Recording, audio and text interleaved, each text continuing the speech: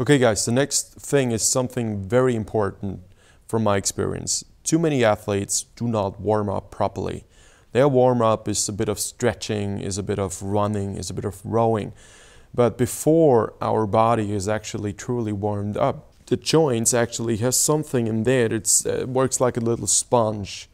And if you mobilize a joint, um, that little sponge soaks up itself with liquid and this is like a cushion for your joints and you have to do this before every um, training you do.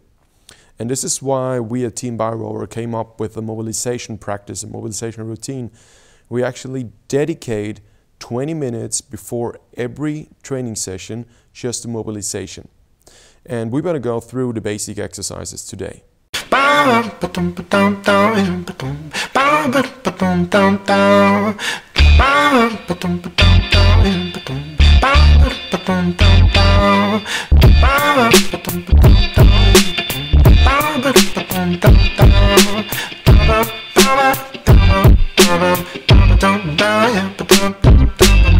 So the first exercise, we either you start from the bottom and go to the top, or you start at the top and go to the bottom. We start at the bottom. The first thing you do is you want to rotate around the ankle. Make sure that your movements are as wide as possible and you move as much as you possibly can. Next exercise would be something for the knees.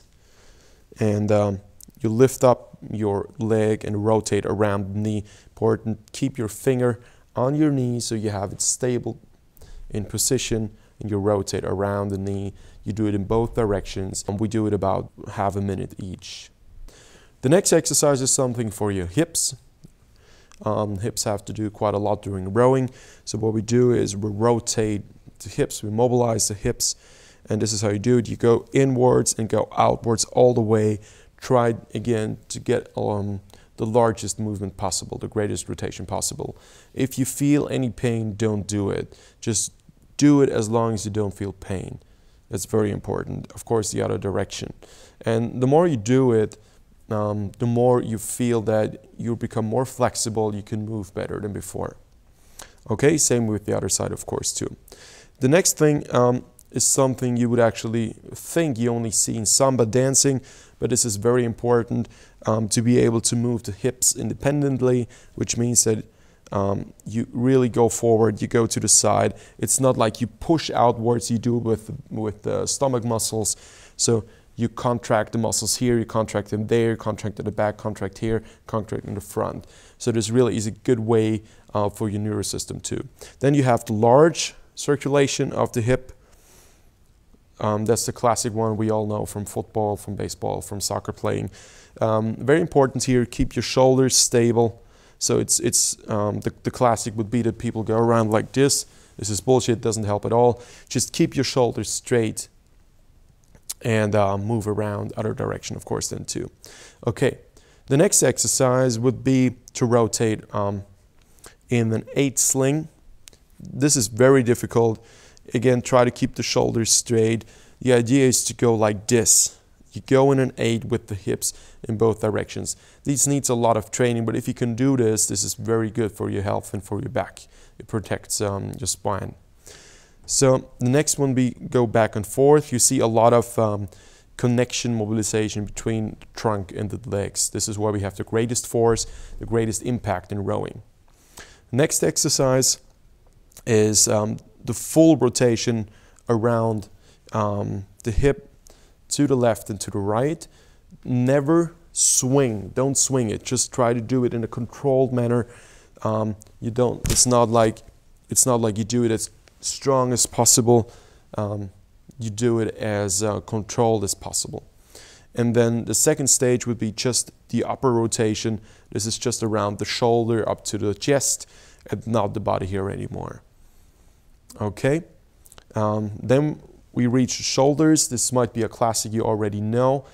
Um, very important. Many athletes go like this and think they do already mobilization. No, mobilization means one shoulder all the way up, all the way to the back, all the way down, all the way forward, all the way up. Really try to get a movement that is all the way, no half products. If you do half mobilization, you will get half product. You don't want to do this. Okay, backwards and forwards, again with the other side too. When you're done with the single shoulders, um, switch to both shoulder movements. And again, backwards and forward. Okay, then uh, we come to the elbows. Um, fix your upper arm and rotate around the elbow, both directions again. Of course, on both sides. And um, then we come to the hands. Um, great impact on the hands during rowing. Very important to really have them warmed up and get our joints soaked with liquids um, in order to protect ourselves. And then we have the neck. Finally, we come to the very top. So we go all the way to the left, straight to the left, and straight to the right. This is stage one. Very important, never with speed, always in control. Um, don't go like whoop all the way to the left. No, slowly, as slow as you can. Then you go up and down, up and down.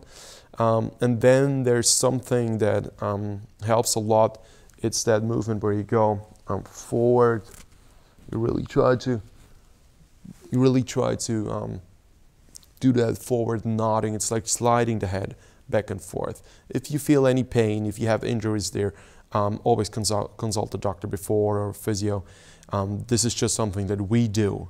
So it's uh, not a general reference for you to do it. It's just um, our experience, what we do for mobilization. Then we go to the floor exercises. And this is where we do one of the key trunk uh, mobilization parts. So first of all, we move the knees uh, from the left to the right. Uh, you see that the feet are not specifically towards each other, they're a bit with distance. Then we switch, we put the legs up in the air. Now we rotate, this works uh, in the lower spine all the way to the upper spine, um, as far as you feel it's comfortable to do it. Okay, the next exercise is um, to keep the legs straight and the other one goes across. This is stage one and stage two actually you try to go all the way to your hands. Of course you would need more space than we have here right now and um, all the way to the left side. So this is a great spine rotation Okay. then you flip. So the next part, you lay flat on the floor, on your stomach. You do the same thing that you just did laying on the back, on the front now. Uh, you rotate to the right, you rotate to the left. Um, then we come to the next exercise. You rotate the entire hip. So it's again a greater rotation. You see that here, there's more rotation around it. It's working all the way up um, to the shoulders almost now.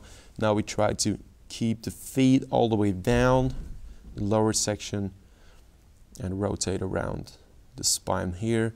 And then, of course, we have that great rotation where you actually try to be a Chinese circus artist and um, touch your um, hands with your feet. It takes a while to do this. At the beginning, you feel it's impossible.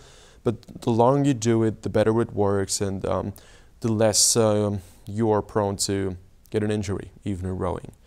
If you spend 20 minutes extra every time before you do practice, um, this can be great for your health. And uh, yeah, that's it. So thank you, Jakob. Thank you. And um, thank you, Donald, for the great camera work. And um, well, that's it for today.